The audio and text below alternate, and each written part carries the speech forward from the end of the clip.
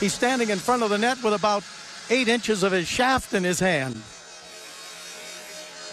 Yo, what did the commentator just say?